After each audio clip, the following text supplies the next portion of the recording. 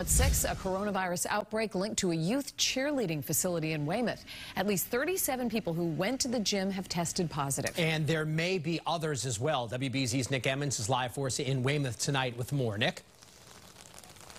Yeah, David, so health officials are investigating those 37 cases linked to Cheer Sport Sharks New England. It is an indoor training facility for cheerleading uh, here in Weymouth. It's based in an industrial park here. The door's locked, the lights are off now, it's closed down.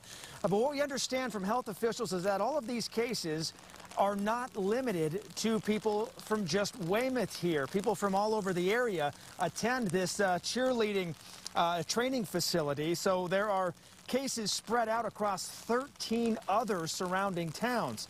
Right now, health officials say that those 37 cases do not include any family members of cheer participants or close contacts, as contact tracing is still under investigation. Uh, so those cases, the number at least, could go up.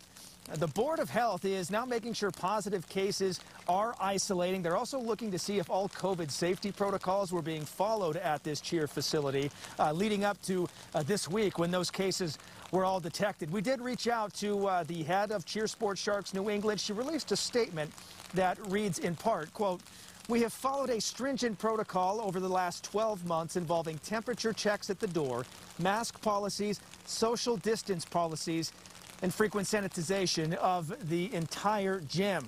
She goes on to say they have had no positive cases until this recent cluster that popped up again. The, that, that was as of uh, the 15th this week. Uh, the health department says it's going to be working with the business owner now to make sure it is operating in full compliance with the state's uh, COVID safety protocols.